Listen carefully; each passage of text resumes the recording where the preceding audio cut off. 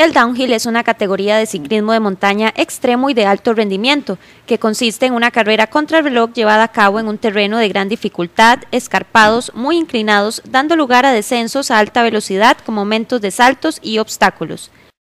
El downhill en sí es una carrera contra reloj.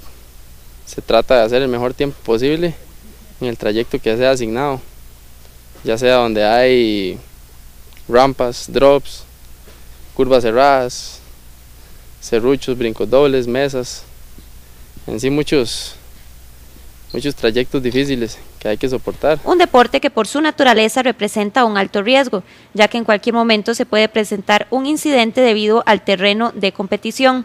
Bastante, digamos, es un, es un grave riesgo bastante duro porque es un deporte muy difícil, donde usted trata de dar todo por el todo y en lo menos esperado hay un golpe. En Pérez Celedón es un deporte que hasta el momento no es muy conocido, razón por la cual no se cuenta con un destino para practicar, por lo que un grupo de jóvenes amantes han decidido darle un impulso.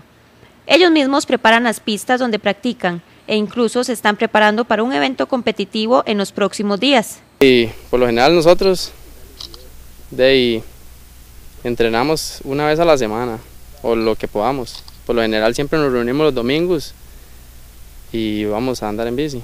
Nosotros mismos hacemos las pistas y buscamos un lugar que nos den permiso y, y ahí vamos, donde haya descenso, eso lo de nosotros. Estos jóvenes aseguran que a pesar del riesgo, la adrenalina hace que cada salto sea una sensación inigualable y esperan pronto poder contar con más apoyo para dejar el nombre de la zona en alto en los retos que se presenten.